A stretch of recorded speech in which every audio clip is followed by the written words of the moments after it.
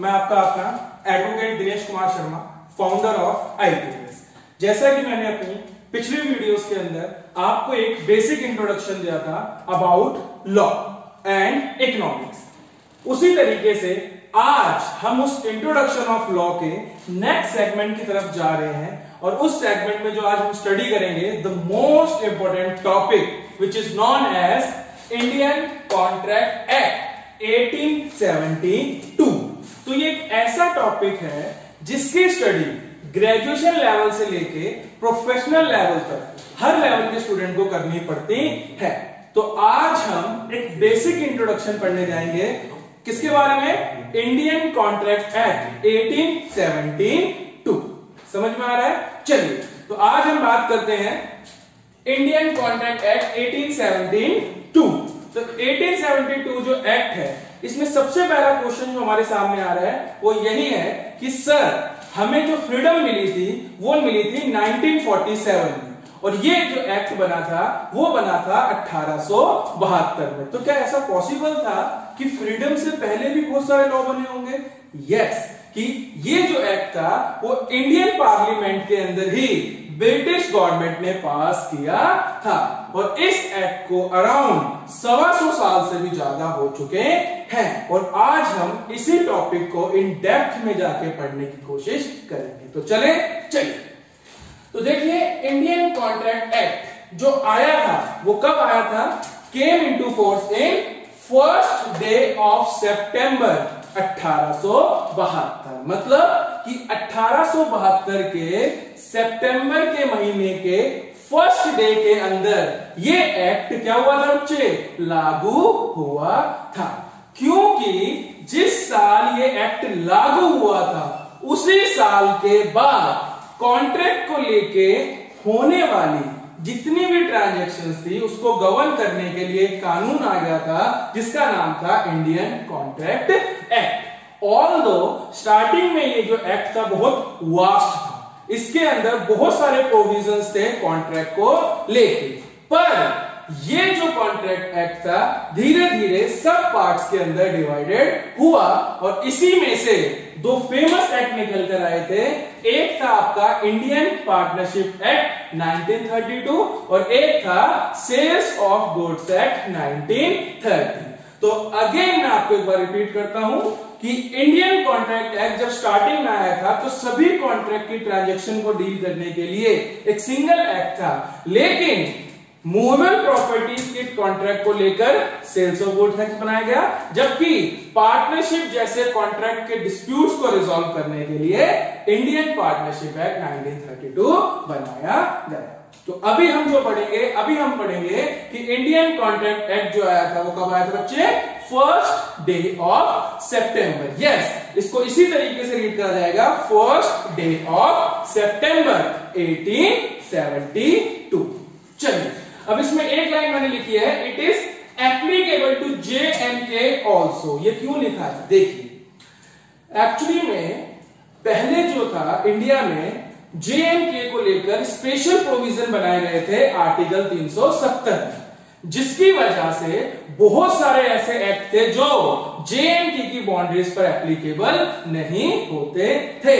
But thanks our government जिन्होंने पूरे के पूरे एफर्ट्स के साथ अब उस आर्टिकल 370 को हटाकर वो सारे के सारे लॉस वो सारे के सारे एक्ट जो पहले जेएनके में एप्लीकेबल नहीं होते थे now this act is also applicable to J and K earlier क्या वर्ड यूज़ करते थे हम? This act applicable whole of India except J and K but now we are using the term this act is applicable to J and K also और ये बात कहाँ लिखी गई है?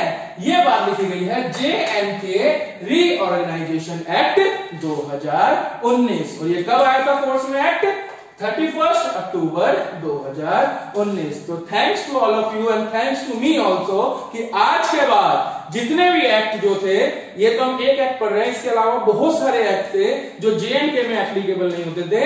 उस दिन के बाद अब वो एक्ट भी जे एंड के में अप्लाई हो रहे हैं। तो छोटी सी चीज़ समझ में आ रही कि इंडियन कॉन्ट्रैक्ट एक्ट कब आया था? फ़र्स्ट डे ऑफ़ सेप्टेम्बर पहले ये जीएनके में एप्लीकेबल नहीं था, लेकिन एक डेट के बाद अब now it is applicable to J and K also समझ में आ रही है चीज़ें? चलिए, अब हम आगे की तरफ़ मूव करते हैं। जो इंडियन कॉन्ट्रैक्ट एक्ट है, ये दो पार्ट्स में डिवाइड है। इन दो पार्ट्स में हमें इसे स्टडी करना है। पहला पार्ट है how to make the contract कि कॉन्ट्रैक्ट कैसे बनते हैं। और दूसरे सेगमेंट में will study how to discharge और फिनिश द कॉन्ट्रैक्ट मतलब कि कॉन्ट्रैक्ट कैसे बनते हैं और इन कॉन्ट्रैक्टों को कैसे पूरा किया जाता है।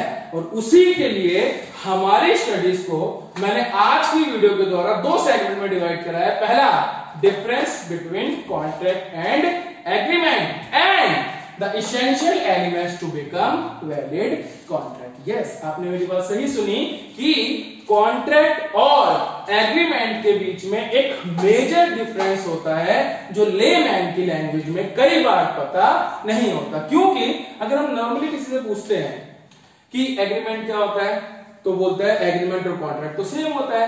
पर अगर वही क्वेश्चन किसी प्रोफेशनल या प्रोफेशनल स्टडी करने वाले स्टूडेंट से पूछा जाए कि what is the difference between agreement and contract तो आज हम पढ़ेंगे difference between agreement and contract चलिए तो सबसे पहले मैंने आपको बताया कि व्हाट इज़ कॉन्ट्रैक्ट कॉन्ट्रैक्ट जो डिफाइन किया गया है, वो डिफाइन किया गया है section two clause H of Indian contract act अठारह यस ये क्या होता है section section is that digit of act जो डिफाइन करती है कि उस चीज़ का क्या मतलब है। जनरली हराइकी क्या होती है? Section subsection clause sub clause para sub para पर एक एक्सेप्शन याद रखना नॉलेज के लिए, ज़िंदगी भर के लिए, जो भी डेफिनेशन सेक्शन होता है, वो किसमें बताया जाता है? सेक्शन टू में। और सेक्शन टू में हमेशा सेक्शन के बाद जो आता है, वो क्या आता है? क्लॉज आता है। तो कॉन्ट्रैक्ट का मतलब समझने के लिए आपको पूरा कॉन्ट्रैक्ट पढ़ने की ज़रूरत नहीं है।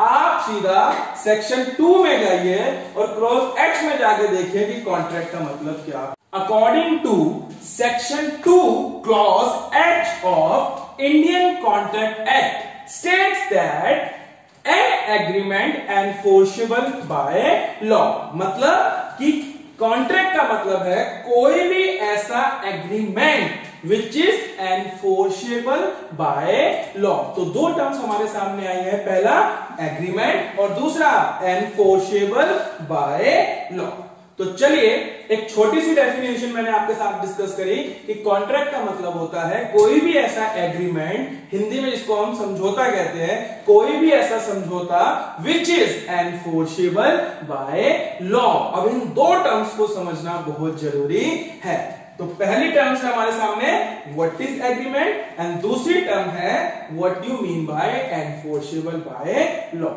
देखिए एग्रीमेंट का मतलब होता है दो चीज़ें।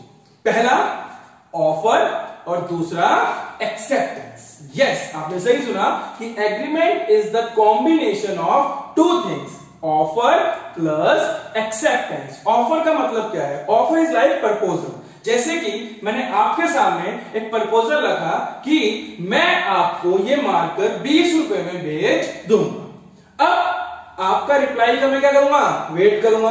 या तो आप इस प्रपोजल को क्या करेंगे? एक्सेप्ट करेंगे या फिर रिजेक्ट करेंगे। अगर आपने मेरे ऑफ़र को ठुकरा दिया रिजेक्ट कर दिया तो ये कोई एग्रीमेंट नहीं बनेगा। वहीं दूसरी तरफ़ अगर आपने कहा कि यस मैं ये पेन मारकर आपका खरीदने के लिए तैयार हूँ। तो आपने क्या करा? मेरे ऑफ़र का एक पॉजिटिव रिप्लाई दे दिया। तो क्या मतलब हुआ इसका? कि जब भी भी कोई ऑफ़र क्या होता है? एक्सेप्ट होता है then it becomes an agreement तो क्या मतलब हुआ एग्रीमेंट का? ऑफ़र प्लस एक्सेप्टेंस ऑफ़र या प्रपोजल मतलब जब कोई इंसान अपनी विलिंगनेस दिखा रहा है, किसी के सामने, इस इंटेंशन के साथ कि सामने वाला क्या करेगा, उस पर एक पॉजिटिव रिप्लाई देगा। तो ये चीज़ समझ में आ गई कि agreement is a offer plus तो नाउ अब हम पढ़ेंगे what do mean by enforceable by law देखिए, अभी जो हमने पढ़ा कि agreement is the combination of offer and acceptance तो क्या मतलब है? क्या सिर्फ़ एग्रीमेंट ही इनफ है कॉन्ट्रैक्ट बनने के लिए? आंसर इज़ नो क्योंकि दूसरी टर्म्स उतनी ही इंपॉर्टेंट है जितनी फ़र्स्ट टर्म ज़रूरी है कॉन्ट्रैक्ट के लिए। क्योंकि एनफोर्सेबल बाय लॉ का मतलब होता है कोई भी ऐसा एग्रीमेंट जिसके against you can take legal action means अगर मान लीजिए किसी के साथ मैं एक एग्रीमेंट करता हूँ सपोज़ दैट सोशल नेचर का एग्रीमेंट कि चलो आज शाम को हम डिनर करने के लिए जाएँगे। मैंने ऑफ़र रखा और सामने वाले पर्सन ने क्या करा? उसकी एक्सेप्टेंस दे दी। बट अगर शाम को मैं किसी रीजन की वजह से उसके साथ डिनर के लिए नहीं जा पाया तो क्या वो मेरे अगेंस्ट लीगल एक्शन ले सकते हैं? आंसर इज़ नो तो यही बताने की कोशिश की जा रही है कि एनफोर्सेबल बाय लॉ का मतलब होता है, जब कोई भी पर्सन किसी ऐसे एग्रीमेंट के अगेंस्ट क्या ले सके? लीगल एक्शन ले सके तो उन्हीं एग्रीमेंट को क्या माना जाएगा? कॉन्ट्रैक्ट माना जाएगा। मीन्स अगर कोई ऐसा एग्रीमेंट है, जिसके against you can't take a legal action then that agreement doesn't become contract is it clear yes अब हम बात करेंगे essential elements to become valid contract yes तो अब हम बात करेंगे कि एक कॉन्ट्रैक्ट को वैलिड होने के लिए एज पर लॉ क्या क्या इसेंशियल रिक्वायरमेंट्स होती हैं? क्योंकि अगर किसी कॉन्ट्रैक्ट के अंदर ये एलिमेंट्स अवेलेबल नहीं है तो वो contract according to law valid contract नहीं माना जाएगा और अगर वो वैलिड नहीं होता तो उस कॉन्ट्रैक्ट के रिगार्डिंग आप लीगल रेमेडीज अवेयर नहीं कर सकते। हाँ तो जैसे मैंने अभी थोड़ी देर पहले आपको बताया कि contract is agreement plus enforceable by law ऐसे ही अब हम पढ़ेंगे कि एक कॉन्ट्रैक्ट को वैलिड होने के लिए क्या क्या ज़रूरी होता है। तो चलिए हम स्टार्ट करते हैं। Element number one lawful offer plus acceptance what do mean by lawful lawful mean जो इंडियन कॉन्ट्रैक्ट एक्ट के अकॉर्डिंगली कुछ रिक्वायरमेंट्स बताई गई हैं, वो होनी ज़रूरी है। मीन्स कि अगर कॉन्ट्रैक्ट है तो बनने के लिए सबसे पहले आपको क्या देना पड़ेगा? एक ऑफ़र और सामने वाला उसको क्या कर सके? एक्सेप्ट कर सके। तो पहली रिक्वायरमेंट क्या है? लॉफुल ऑफ़र एंड एक्सेप्टेंस तो समझ में आ रहा है कि किसी भी कॉन्ट्रैक्ट को वैलिड बनाने के लिए एक ऑफ़र और सामने से उसका एक पॉजिटिव रिप्लाई क्योंकि अगर यही नहीं है तो आगे की तो बात हो ही नहीं सकती। तो पहला एलिमेंट क्लियर हो गया। Yes lawful offer plus acceptance चलिए अब सेकंड एलिमेंट की तरफ़ मूव करते हैं कि किसी भी कॉन्ट्रैक्ट को वैलिड होने के लिए क्या होना? Intention to create legal relationship yes अभी जैसा मैंने आपको थोड़ी देर में बताया था कि agreement enforceable by law means अगर मैंने जो आपको बताया कि डिनर करने के लिए किसी के साथ क्या करा? एक एग्रीमेंट करा.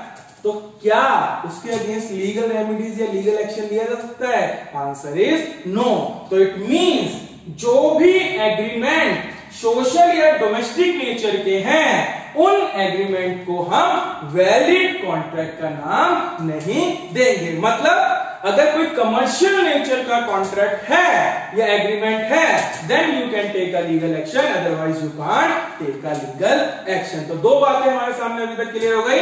पहला, एक लॉफुल ऑफ़र एक्सेप्टेंस और दूसरा, वो क्या क्रिएट करें? लीगल रिलेशनशिप क्रिएट करें। तो समझ में आ रहा है?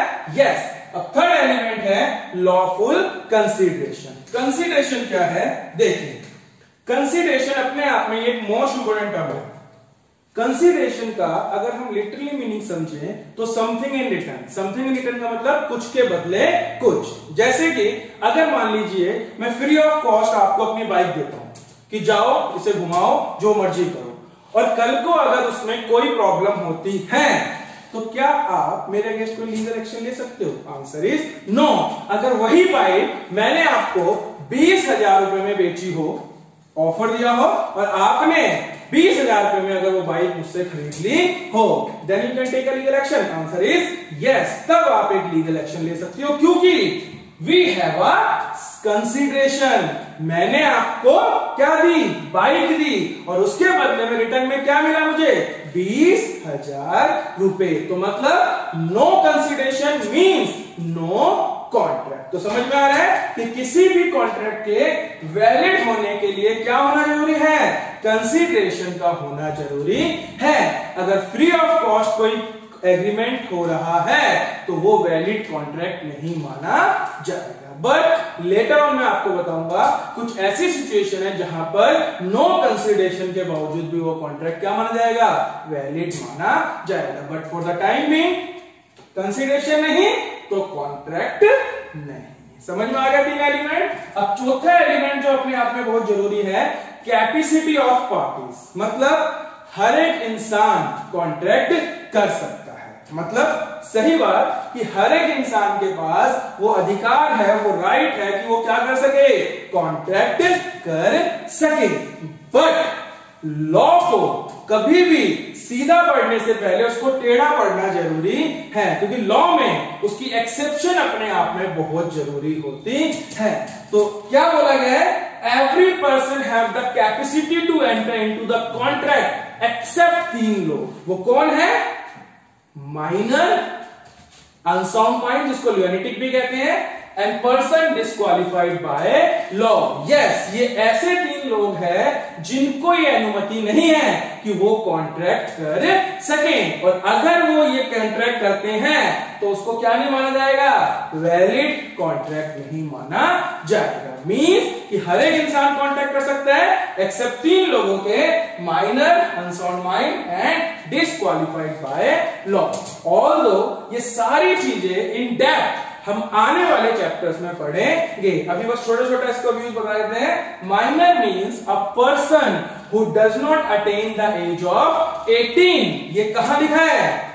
ये लिखा है इंडियन मेजोरिटी एक्ट के अंदर कि जिस इंसान की एज 18 वर्ष नहीं है, वो अकॉर्डिंग टू लॉ क्या माना जाएगा? माइनर माना जाएगा। और माइनर को कॉन्ट्रैक्ट में एंटर होने का अधिकार नहीं होगा। समझ में आ रहा है? तो हर एक इंसान कॉन्टेक्ट कर सकता है except minor unsound mind and person disqualified by law person disqualified law means कि कुछ लोगों की एक लिस्ट बता रखी है, जैसे कि इंसॉल्वेंट एलियन एनमी ये ऐसे लोग हैं जिनको बताया गया है कि वो क्या नहीं कर सकते? लॉफुल कॉन्ट्रैक्ट में एंटर नहीं हो सकते। समझ में आ रहा है? तो चार पॉइंट तक क्लियर हुए लॉफुल ऑफ़र होना चाहिए लॉफुल एक्सेप्टेंस होनी चाहिए। इंटेंशन कैसे होनी चाहिए लीगल रिलेशनशिप कंसिडरेशन होना ज़रूरी है। उसके साथ साथ पार्टीज़ के पास वो पावर हो कि वो कॉन्ट्रैक्ट कर सके। अब तीन लोगों को बताया गया है कि जो कॉन्ट्रैक्ट नहीं कर सकते। तो समझ में आ रहा है? ऐसे ही पांचवा पॉइंट जो है, वो अपने आप में बहुत ज़रूरी है फ्री कंसेंट क्या मतलब होता है? कंसेंट का मतलब होता है किसी बात पर एग्री होना। एग्री मतलब बिना प्रेशर के उसकी सहमति लेना। मीन्स जब कोई इंसान सेम थिंग और सेम सेंस पे दूसरे व्यक्ति के साथ एग्री करता है। जैसे छोटा सा एग्जांपल मैं देता हूँ। मान लीजिए, मेरे पास तीन बाइक्स हैं ब्लैक रेड और व्हाइट मैंने अपने फ्रेंड के सामने एक ऑफ़र रखा कि मैं अपनी एक बाइक पचास हज़ार रुपए में बेचने के लिए तैयार हूँ। मैं सोच रहा हूँ कि मैं अपनी ब्लैक वाली बाइक उसको बेच रहा हूँ। जबकि वो क्या सोच रहा है कि लगता है कि सर अपनी व्हाइट कलर की बाइक बेचना चाहते हैं। मतलब हम दोनों क्या सेम थिंग और सेम सेंस पे एग्री कर रहे हैं? नहीं। मेरा point of view black bike का है और उसका point of view white bike खरीदने का है। तो क्या हम दोनों की जो सेंस है वो सेम है? आंसर इज़ नो तो क्या उसकी ये कंसेंट फ्री मानी जाएगी? आंसर इज़ नो और इसी टर्म्स को हम कंसेंसस एड आइटम का नाम भी देते हैं। तो इट मींस कॉन्ट्रैक्ट करने के लिए कंसेंट का फ्री होना ज़रूरी है। और अगर वो कंसेंट फ्री नहीं है बाय इन पाँच एलिमेंट के द्वारा है तो उस कंसेंट को फ्री नहीं माना जाएगा। तो मीन्स अगर वो कंसेंट कौशन दिखा के मतलब डरा धमका के ली गई है ऑन अ गन पॉइंट अगर मैं आपसे कहता हूँ, आप मुझे अपनी बाइक भेज दीजिए। अगर उस तरीके की कंसेंट है तो वो वैलिड कंसेंट नहीं मानी जाएगी। फ्रॉड करके किसी के साथ अनड्यू इन्फ्लुएंस करके, किसी को मिस रिप्रेजेंट करके या मिस्टेक करके अगर आपने किसी से वो कंसेंट ली है तो वो वैलिड कंसेंट नहीं मानी जाएगी। और इस तरीके की कंसेंट के बाद अगर कोई कॉन्ट्रैक्ट होता है तो वो वैलिड कॉन्ट्रैक्ट नहीं माना जाएगा। तो मीन पाँच चीज़ें अभी तक हमें समझ में आ गई है वैलिड कॉन्ट्रैक्ट के लिए। पहला लॉफुल ऑफ़र दूसरा intention to create legal relationship तीसरा कंसिडेशन चौथा capacity of parties and the fifth one is free consent अगर वो कंसेंट फ्री नहीं है, इन पाँच में से किसी के द्वारा अफेक्टेड है तो उस तरीके की कंसेंट के द्वारा किया गया कॉन्ट्रैक्ट वैलिड कॉन्ट्रैक्ट नहीं माना जाएगा। तो समझ में आ रहा है? चलिए, अब हम बात करते हैं सिक्स की लॉफुल ऑब्जेक्टिव लॉफुल मतलब क्या होता है? कहते हैं, वही है, अगर किसी इलीगल ऑब्जेक्टिव को लेके या अगेंस्ट द पब्लिक पॉलिसी कोई आप कॉन्ट्रैक्ट कर रहे हो मतलब किसी को मारने का, ठीक है? किसी को सुपारी देने का अगर आप कोई एग्रीमेंट या कॉन्ट्रैक्ट कर रहे हो this type of contract is not valid as per law पहली बात तो ये एग्रीमेंट होंगे कॉन्ट्रैक्ट बनेंगे ही नहीं, क्योंकि इस तरीके के एग्रीमेंट पे आप लीगल एक्शन नहीं ले सकते। समझ में आ रहा है? चलिए।